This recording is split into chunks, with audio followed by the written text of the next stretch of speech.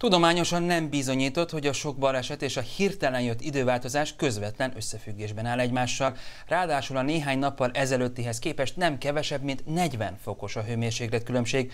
A szakember szerint ez megterhelő lehet még az egészséges szervezet számára is. Nem ritka ilyenkor a fáradtság és a fejfájás sem. Egy-két hó volt, még látszik a zalai fák tövében, de ez már csak a tél emlékem. Úgy tűnik, a kabátokat mindenki vékonyabbra cserélte, a csizmát sportcipőre, sapkát pedig már talán csak az vesz fel, aki nem meri elhinni. Ez már a tavasz.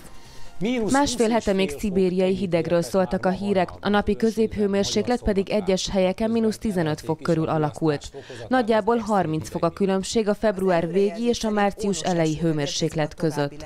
Ezen a hőmérőn a déli órákban például 20 fokot mutatott a számlap. A hirtelen melegedés megviselheti a szervezetet, nem ritka ilyenkor a fáradékonyság és a fejfájás sem. Túlzottan nem érzem, hála Istennek.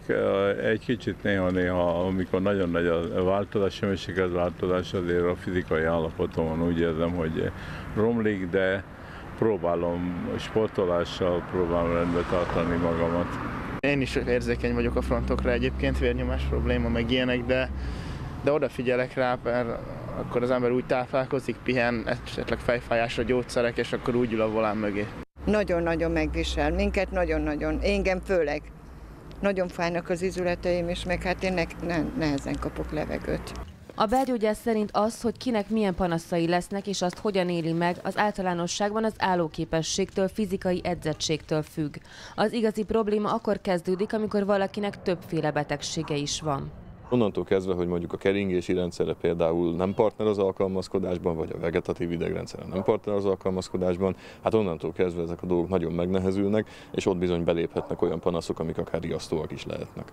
Ilyen tünetek lehetnek a szédülés, illetve a melkasi fájdalom tudni kell, hogyha valaki e, ilyenkor front, ilyenkor nagy időjárás változáskor él át először életében melkasi panaszt, e, és mondjuk ez a későbbiek során még ismétlődik egy párszor, az mindenféleképpen ki kell vizsgáltatni. Tehát az a, az, a, az a jó az időjárás változásban, hogy rámutat a szervezetünk gyenge pontjaira, és onnantól kezdve mondjuk tudjuk azt is, hogy mivel kéne inkább foglalkozni. A szakember felhívta a figyelmet arra, hogy az időjárás változással járó testi tünetek ellen tűzoltó megoldás nincs, de sokat tehetünk a kellemetlenségek ellen azzal, ha megfelelően karban tartjuk a szervezetünket.